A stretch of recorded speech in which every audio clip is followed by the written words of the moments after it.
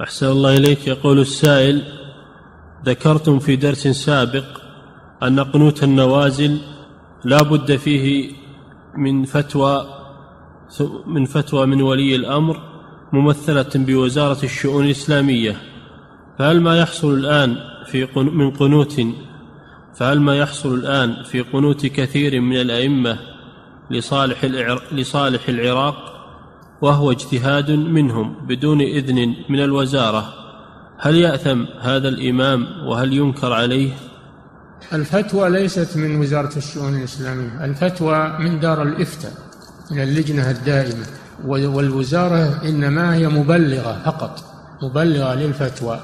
وهؤلاء الذين اجتهدوا وقنتوا نقول إنهم أخطأوا في هذا لكن لعلهم يعذرون في اجتهادهم وغيرتهم على المسلمين. يعذرون في هذا إن شاء الله. ولكن الأولى بهم الا يستعجلوا في هذا الأمر لأن هذا فيه نوع من الافتيات على ولاة الأمور فيه نوع من عدم الانضباط. والمسلمون يجب أن يكونوا منضبطين مع العلماء ومع ولاة الأمور.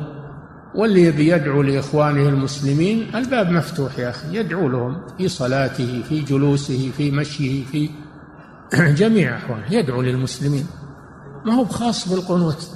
لم يختص الدعاء بالقنوت. إنما القنوت نوع من الدعاء وهو راجع إلى أهل الحل والعقد. نعم.